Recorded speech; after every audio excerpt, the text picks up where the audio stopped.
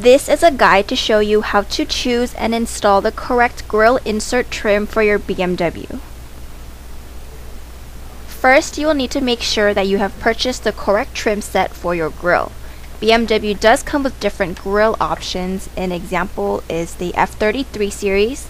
The black kidney grill is pointier with a more angular and aggressive curvature, whereas the standard chrome grill is more smooth.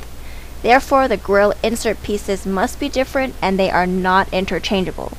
You can check the product listing for the compatibility list and if you are not sure, we do have a lot of pictures in the listing so you can compare it with your BMW's grill. Second, make sure you install the grill insert trims on the correct side of your vehicle. They are designed so when you stand directly in front of the vehicle, it will be the grill on the right hand side. For reference, it's also the US model's driver side. You will also need to install them in the correct pattern, red, blue, and then light blue. A trick is to put them together and they should fit with a gradual size increase.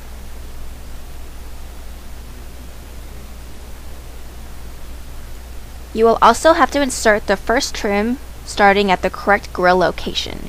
If you are not sure, you can check the product listing you purchased it from and we will have a sample photo to show you which bar you need to start with.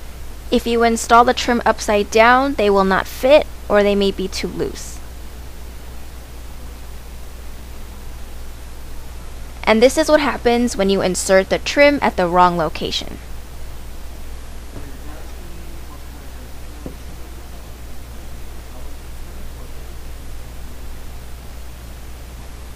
See how the red trim has a gap? And the light blue trim is really easy to take out. It's very loose. Now this is the proper way for installation.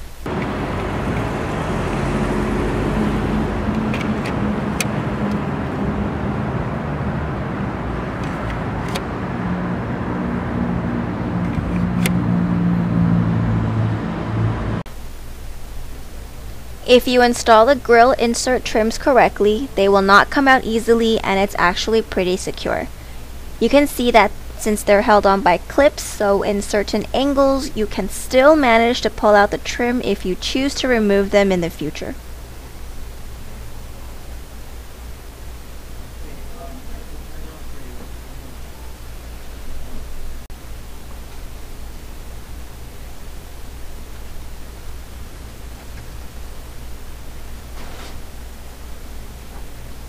To recap, you have to choose the correct insert trim that is compatible with your grill and you need to install it at the correct kidney grill bar, at the correct direction, as well as the correct order. If you install it correctly, you will see that it's a great addition for your BMW. Thanks for watching. If you liked our video, don't forget to subscribe to our channel. Please like us on Facebook for news and updates and visit us at ijdmtoy.com. Thank you.